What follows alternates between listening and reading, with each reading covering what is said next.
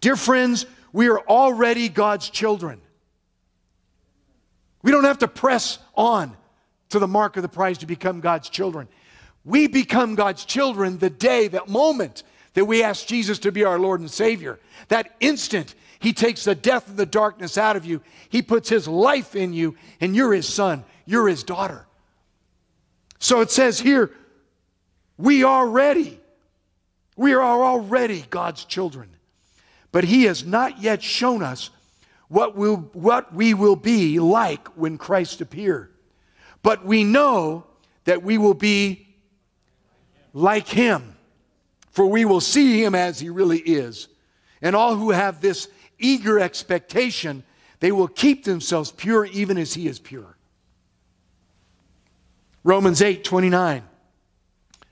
For God knew his people in advance, and he chose them to become like his son so that his son would be the firstborn among many brothers and sisters.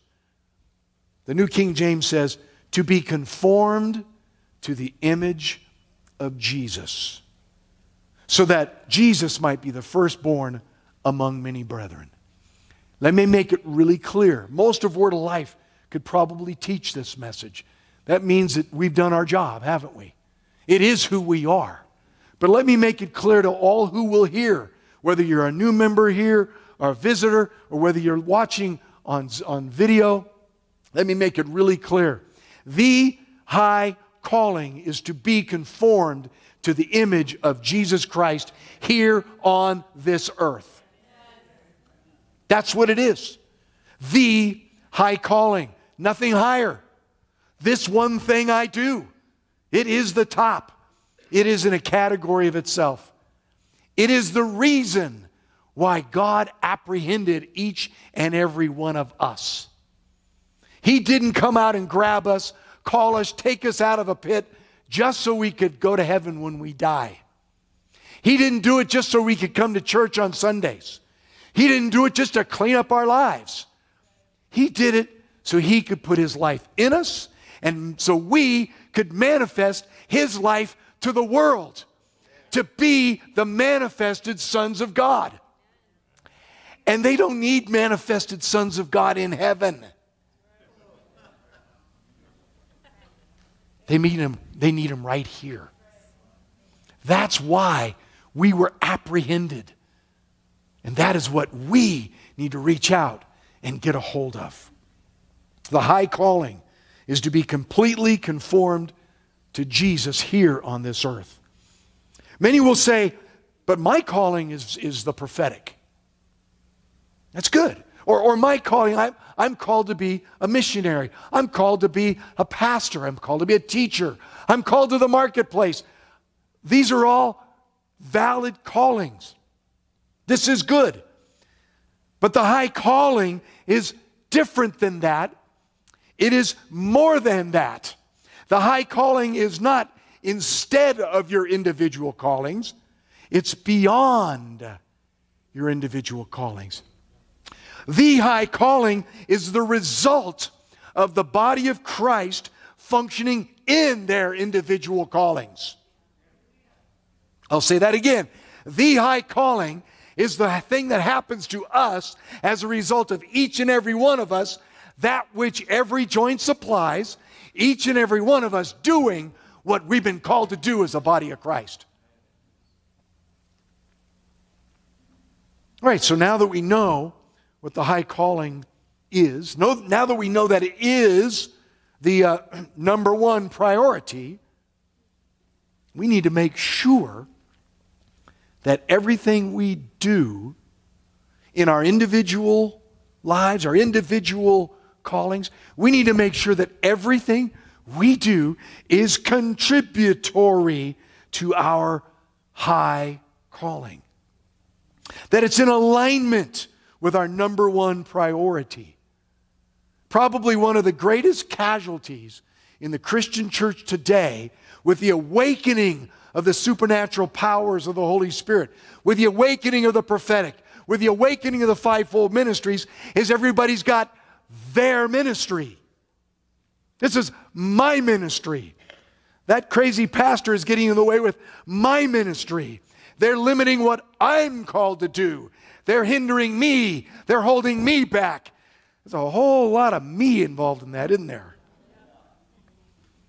When each and every individual calling and gift is not for the me, it's for the we. It's for the body of Christ so that we can grow unto a fullness of the measure of the stature of Jesus, the high calling. Are you called to be in the fivefold ministry? Fantastic. That will indeed and rightfully so consume a large part of your resources, your time. But it is not the high calling. Your high calling is to be like Jesus. And a, as a teacher, through apostle, your job is to promote and to facilitate the high calling in everybody else's life. If your ministry is prospering and everybody around you is suffering,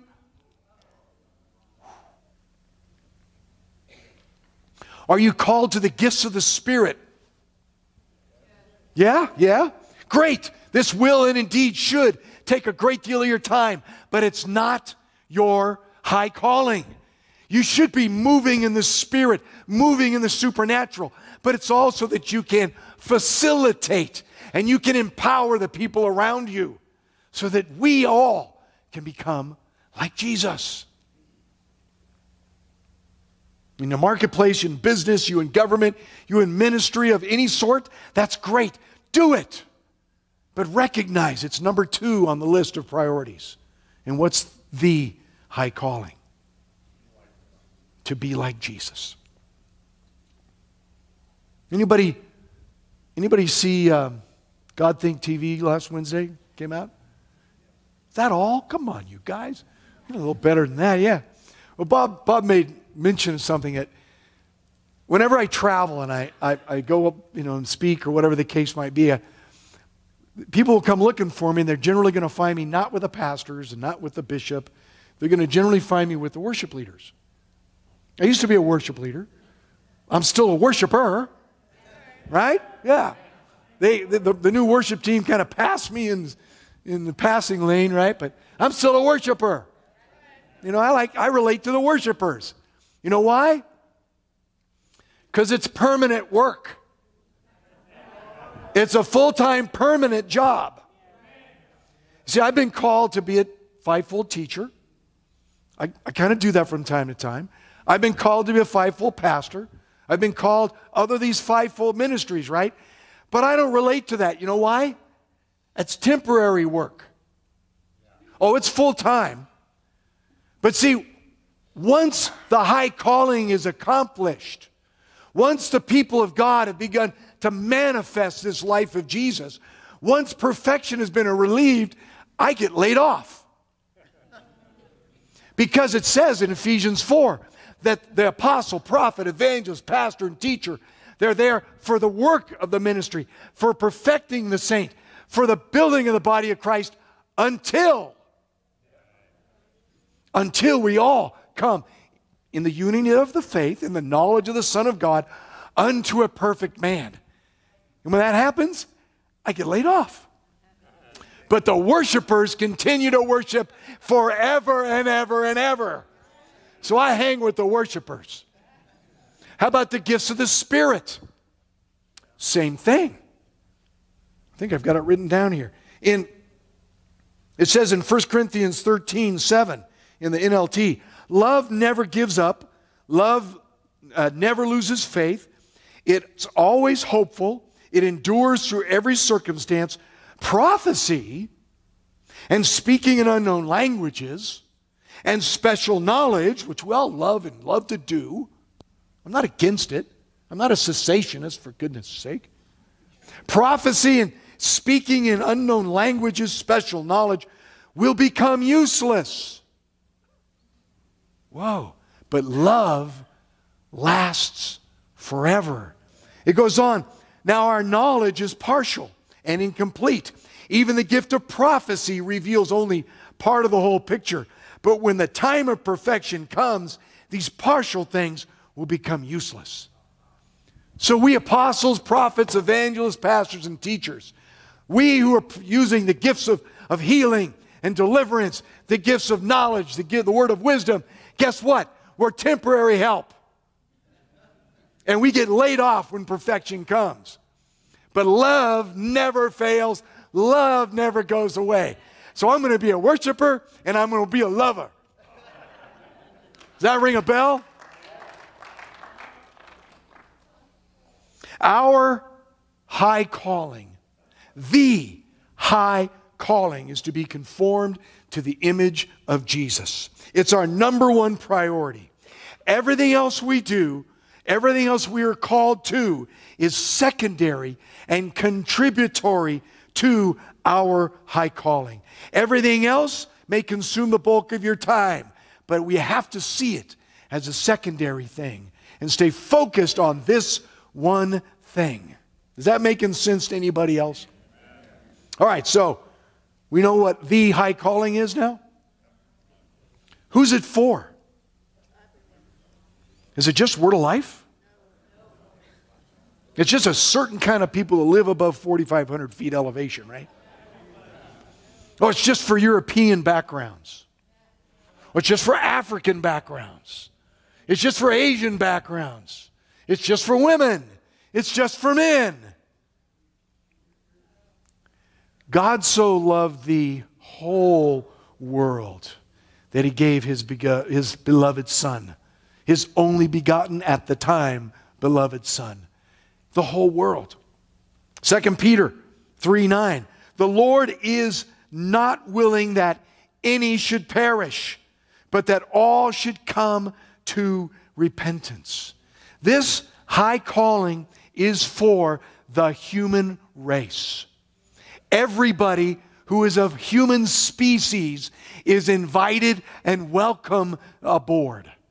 He died so that we can all be forgiven our sins if we simply repent and confess our sins before Him, believe and receive Him as our Savior. All humans can do this. Will all humans do it? It's not what the Bible says. One of the great tragedies is that people have the opportunity to get out of the darkness and they choose the darkness. But there's going to be a people who believe and walk in this and fulfill this high calling here on this earth. So, who's it for? For everybody. What do we do now? What is our part in this? First of all, it's important to note that we have a part in it. We do have a part in this process. Our part is really small, really tiny compared to the huge thing God did. And the only reason there's a little bit of us is because He wants us to have a choice. There is no, lo- there is no love without choice. He's not looking for robots, He's not looking for pets. He's looking for a bride. He's looking for people.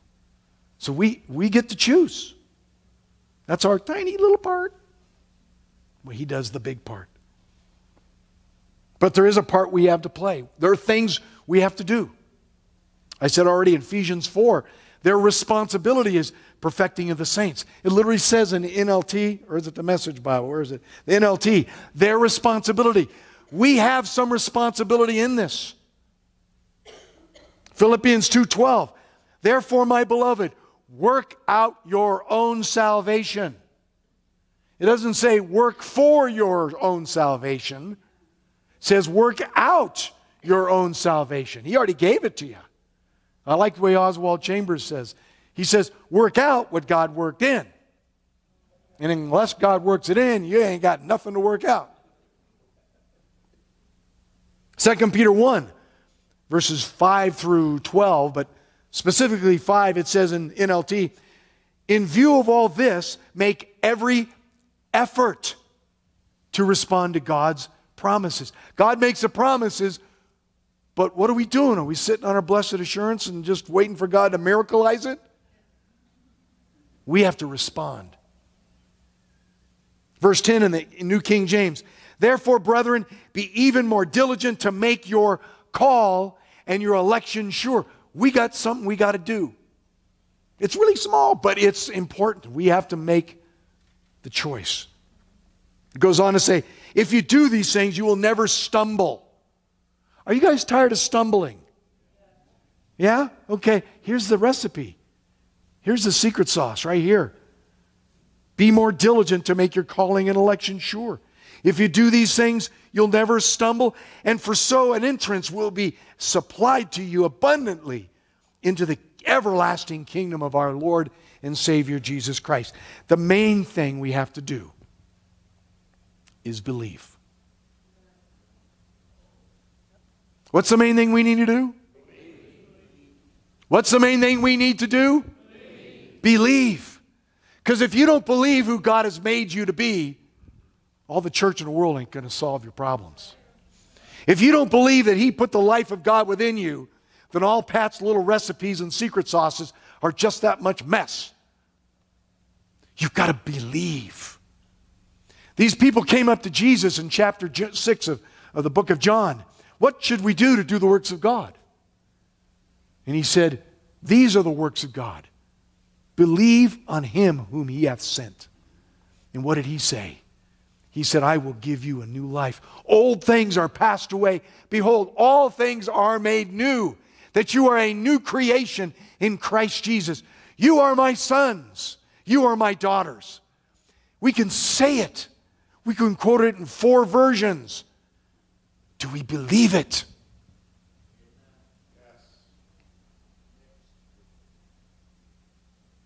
Yes, we must purify ourselves.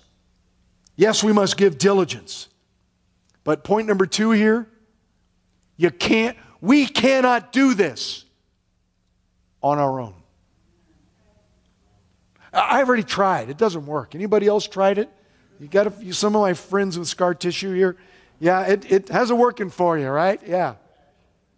That's, that's the beauty of repentance. I get to go, I ain't doing that no more. I'm turning to Jesus. What do we have to do? Point number two it's critical to know that we cannot do this on our own not without Jesus, not without Christ Jesus. Christ Jesus, the head, and Christ Jesus, the body. We can't do it on our own. As soon as we think we got it all together, that's when you know you don't. I'll say that again. As soon as you think you've got it all together, that's when you know you don't. That's like someone says, I know exactly when Jesus Christ is coming back. You know he doesn't. We have to have Jesus. We have to have the Christ, the head and the body. This church has saved my life more times than I can count. My friends, my brothers, my sisters, you have been there to give me an encouraging word or kick me in the rear end or whatever I needed. You did. Most of you don't even know it.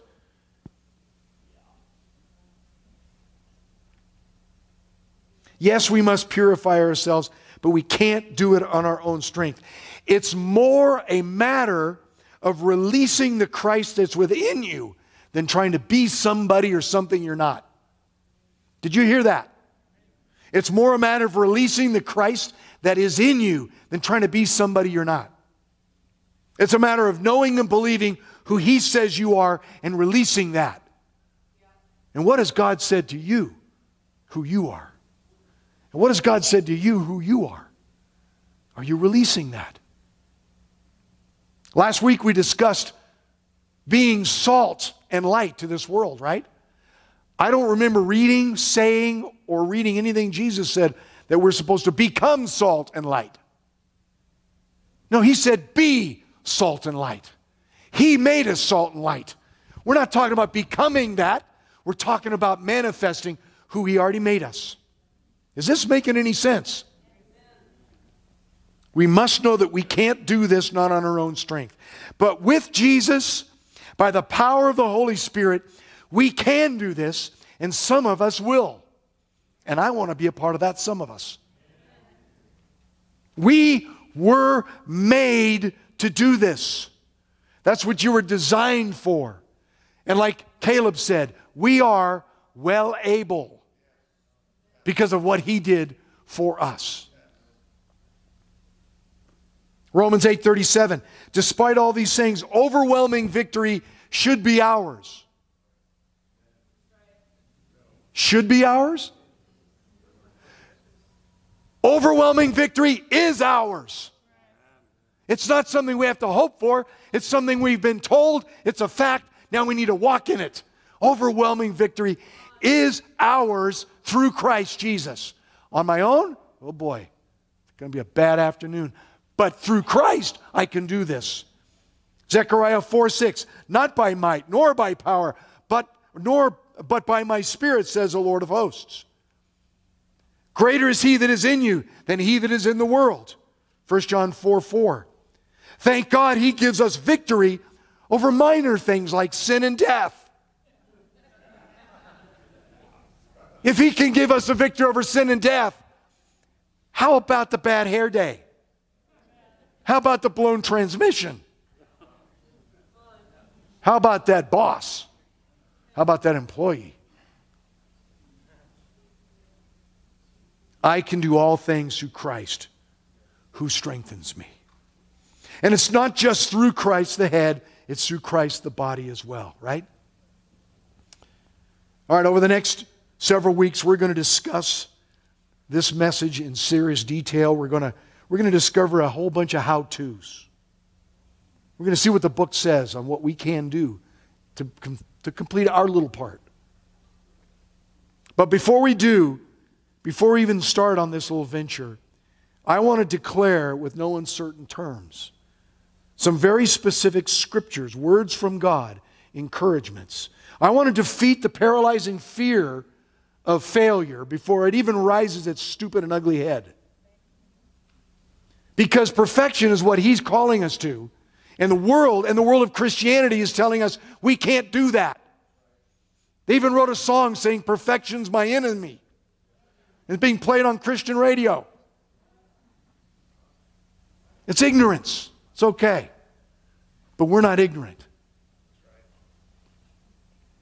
I want to defeat the sense of overwhelming challenges. It should not be. But nobody's ever done this, Pat. What, what are you thinking? How, how can you imagine that somebody's going to be like Jesus or perfect? I believe it because it says it in the Bible. I've been reading dozens of scriptures today about it. But nobody's ever done that before. Jesus did. Yeah, but no humans are.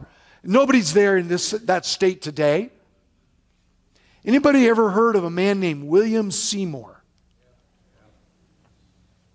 He was the pastor of the church in Azusa Street, 1906. He saw some things in the Bible called the moving and the gifts of the Holy Spirit. He saw that people, when they got filled with the Holy Ghost, he didn't see it in reality. He had never seen it before. He read it in the Bible. That people, when they get filled with the Holy Ghost, they speak in this unknown tongue, this unknown language. And he saw it in the Bible. He had never spoken in tongues. He believed it because he saw it in the Bible. He started preaching it. He wasn't even the first person to speak in tongues, but he kept preaching it and the rest is history. This is a truth in the Bible. Somebody's going to walk in it. Why not us? Fear of failure? This is what Jesus said to that. Luke, write this down. Luke 12, 32. Luke 12, 32.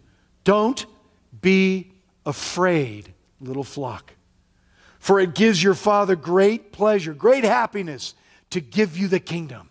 He wants to give this to you more than you want it. He wants you to have it so much, He sent His Son to die so you could have it. The Message Bible says it this way Don't be afraid of missing out. You're my dearest friends. The Father wants to give you the very kingdom itself. You know, Satan knows that a lot of us hate failure. And if we think we might fail, a lot of times we don't even start. Or if somebody helps us start and accidentally we find ourselves there, a lot of times we'll sabotage ourselves. God forbid I fail. Come on, everybody, let's do this. Philippians 1 6, being confident of this very thing, that he who has begun a good work in you, he will complete it until the day of Jesus Christ. We do our little tiny part, and he's going to take care of all the rest of the business. Psalms 138, verse 8 The Lord will perfect that which concerns me, you, us. So let me just close with these final remarks here. He gave it all so we could have it all. So why wouldn't we want it all? He gave it all so we could have it all. Why would we settle for less than all? You're going to run out of money? It's free. All we have to do is choose it. This church has always been a church that wants all that God has for it. We've done some crazy things, just keeping our heart open to get all that God is bringing to us and bringing us to. You know, it's not selfish, it's efficient. You see, it's not wasting what somebody paid dearly to give us. So, why wouldn't we want it all? Ignorance? Not anymore. We know what the high calling is, don't we? If you're snoozing a little bit, it's okay. Preaching from one to two is a tough, tough duty here. All that blood sugar's dropped out of your head, and people are dozing and drooling. That's why we record it. the drooling, that is. See the camera up there? No. We're not ignorant of this anymore. This is what He wants for us. Disqualified? If He qualifies you, who disqualifies you? If God be for us, who can be against us? Because it's really hard, Pat. So is life. Life's hard. So this is hard. At least we get something for it. So go ahead and go out just let life be hard. What do you end up with? A coffin.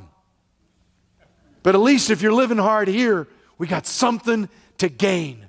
We have the high calling to gain. What else do you have to invest your life into? Golf? Shopping? A career? Money? We have the high calling ahead of us. There are a lot of people who are going to settle for less. It doesn't have to be us. Someone's going to believe this. Someone's going to take Jesus up on his word. Why not us? Now may the God of peace make you holy in every way. May your whole spirit and soul and body be kept blameless until the Lord Jesus Christ comes again. God will make this happen, for he who calls you is faithful. Let's all stand. To be continued next week, but let's pray. Father, in the name of Jesus, Lord, who are we that you bestow such, such word, Lord? We thank you in the name of Jesus for opening the book to us. Lord, we, we're humbled today. Now, Lord, we ask you to open our hearts. Cause us to understand the, the gravity. Cause us to understand what your purposes are in its fullness, Lord. Cause this word to soak deep into our souls. Cause it to be the one thing in our life. Cause that priority to be set in us in the depths of our being, Lord. Cause that priority to be the thing that sets our course, the compass upon which we travel. Father, in the name of Jesus, open the book to us, open our understanding that we can see the fullness. You've called us the word of life, Lord. Help us fulfill that very title to bring forth your life. Lord, go with us this day, go with us this week. Go with us to fellowship, Lord. Go with us and bring us again to your house that we might lift your, your name in praise, that we might hear and feast off of your word, that we might come together and fellowship one with another. Lord, we ask this and we pray this in the name of Jesus. Amen. Amen. Praise God.